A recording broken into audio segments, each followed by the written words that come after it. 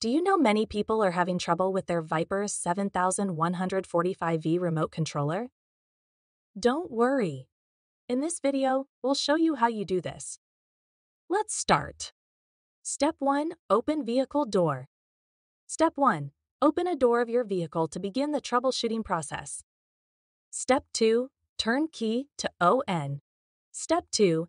Turn the key to the ON position to prepare for programming. Step 3 press VALEV Program button. Step 3. Press and release the VALEV Program button the specified number of times for the selected channel. Step 4. Press Q on transmitter. Step 4. While holding the VALEV Program button, press the Q button on the transmitter to teach it to the receiver. Step 5. Release button and remove key.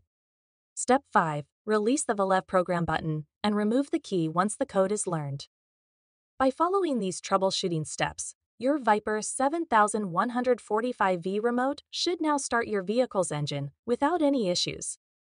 Still need help? Visit our website for the complete manual. There you will also find questions and answers from other Viper users. Did you find this video helpful? By subscribing, you help us continue to answer users' questions. So, subscribe to our channel. Thanks for watching and see you in the next video.